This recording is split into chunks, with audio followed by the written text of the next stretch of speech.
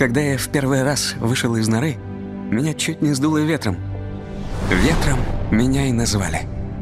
Родители хотели, чтобы это служило напоминанием, каким сильным должен стать я. Я родился последним и был самым маленьким, самым слабым, самым медленным. Я рос. Росли мои братья и сестры.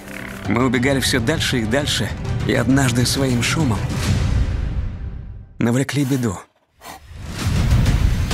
Папа защищал нас до последнего.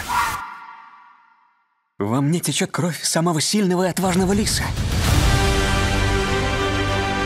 Вот и моя первая зима. Может, хотя бы в этот раз мне повезет. Ее звали Лава, самая рыжая на всем белом свете. Теперь ты не один. А у нас новости. Я стал папой. Два моих лисенка. Стоп. Шесть? Было же два. Снова пришел он. Я понимал, что должен защитить своих, как это сделал папа. Но страх из прошлого стремительно нагонял меня. Ты бросил нас. Убирайся. Я совершил ошибку и не понимал, как ее исправить.